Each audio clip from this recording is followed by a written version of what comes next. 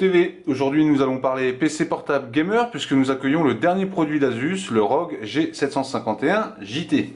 Cette dernière version embarque plusieurs nouveautés que nous allons aborder dans cette vidéo et dans notre test apparaître très prochainement.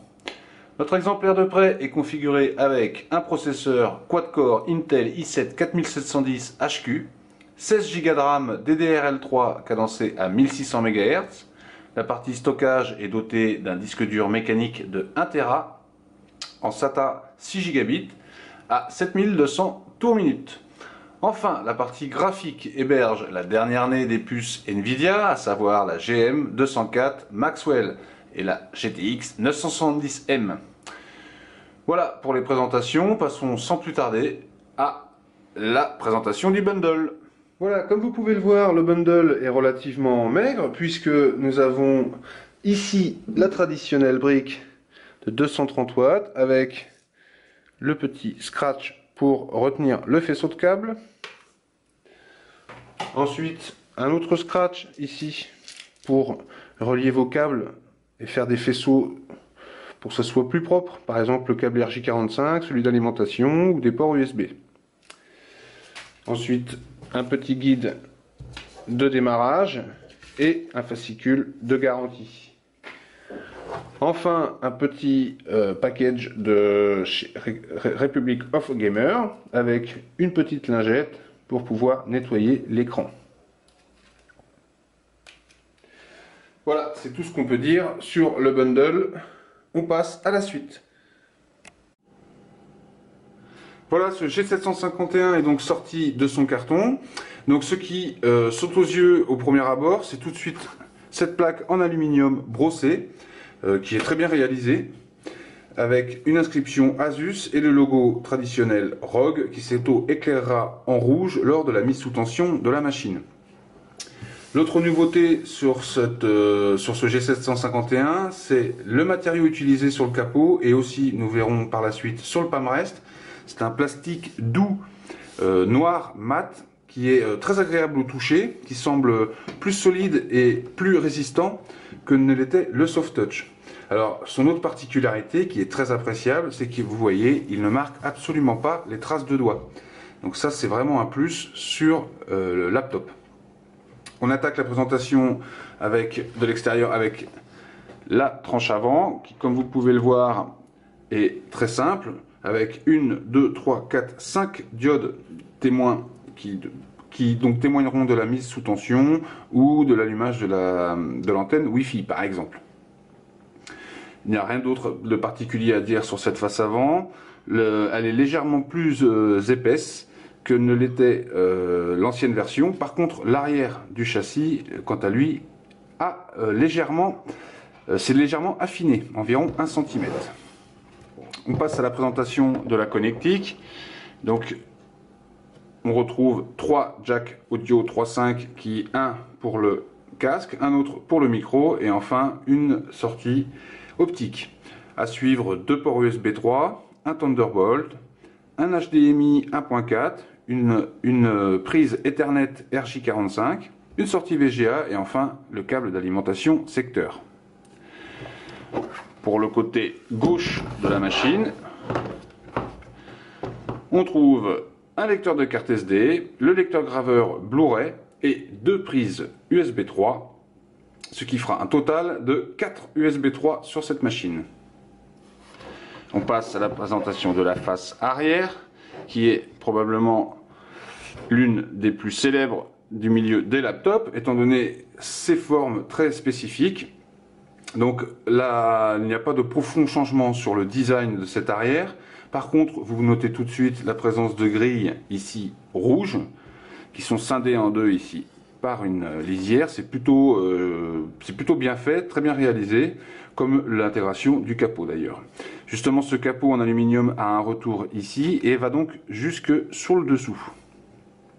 On y trouve le petit logo ROG. Donc, si vous pouvez voir euh, la, face, et enfin l'arrière est légèrement plus fin.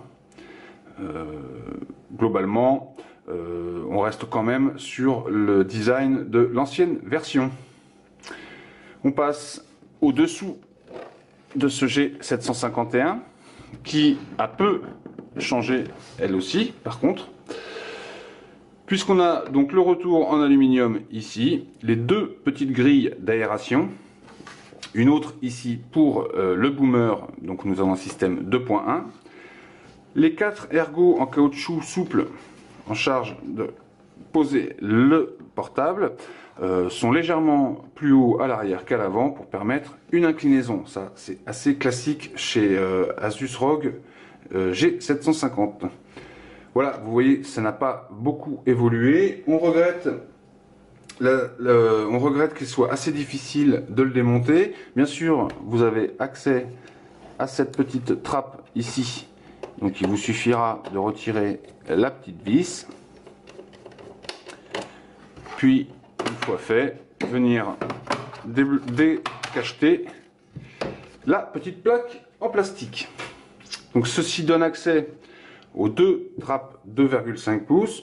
Dans notre cas, nous sommes équipés avec un disque dur euh, mécanique, un HDD pardon, de, de 1 Teraoctet à 7200 tours en SATA 6 gigabits.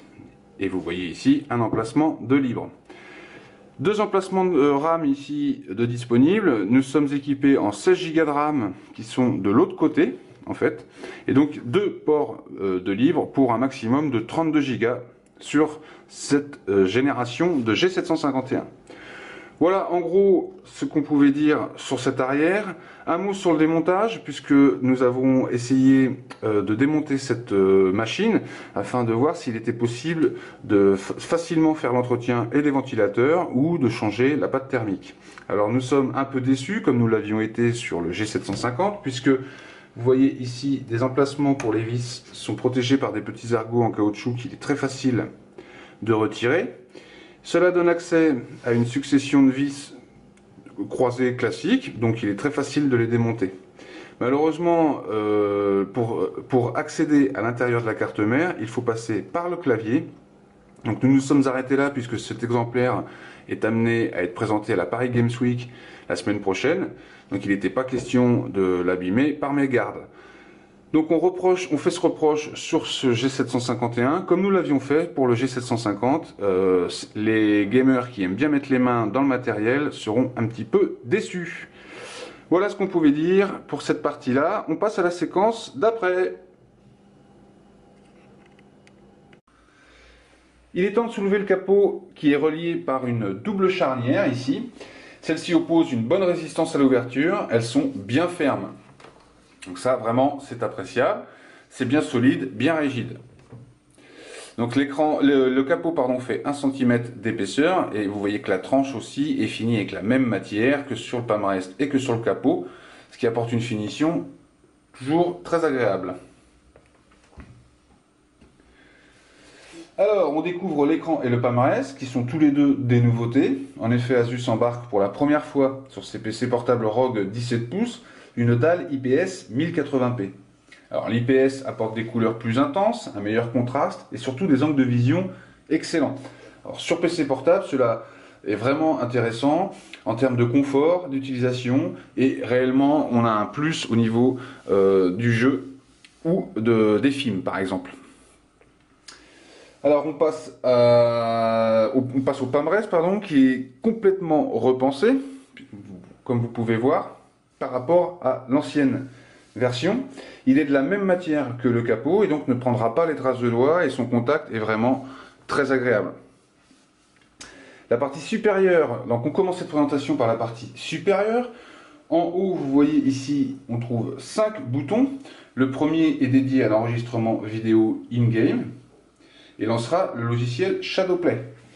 Le second lance Steam et enfin, trois touches de macro, M1, M2 et M3 sont disponibles avec la possibilité de les configurer facilement depuis le logiciel Gaming Center fourni avec le PC. À droite, toutes, on découvre le nouveau bouton de mise sous tension. Il est en aluminium et bénéficie d'un rétroéclairage orange. Ou rouge, mais nous, nous le trouvons plutôt orange.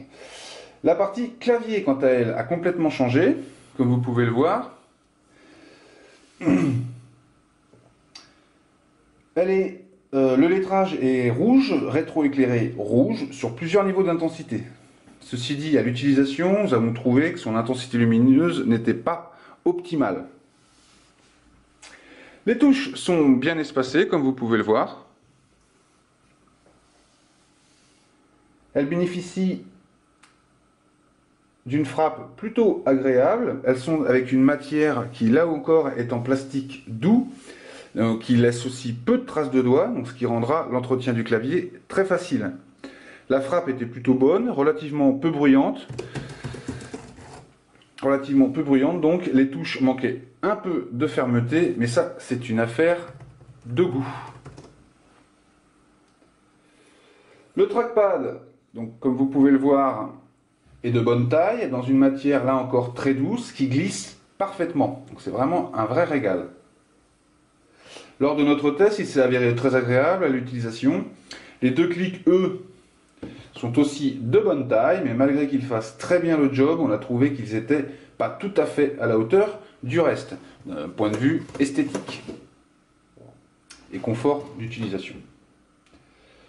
Sur le bas, on trouve deux rappels de diode, ici, qui témoignent de la mise sous tension du PC et de l'utilisation du disque dur. Donc nous avions les cinq témoins en dessous sur la tranche, et ici sur le dessus, deux petits témoins. Donc là encore, c'est une petite finition. Euh, mais toujours agréable.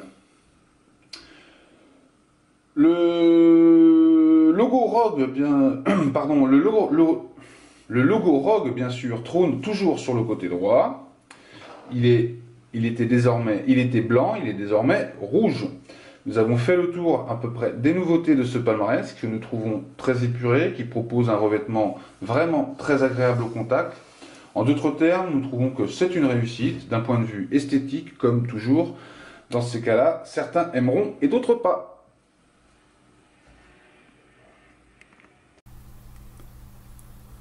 On termine la présentation de ce G751 avec euh, le Gaming Center qui est en fait un logiciel fourni avec la machine.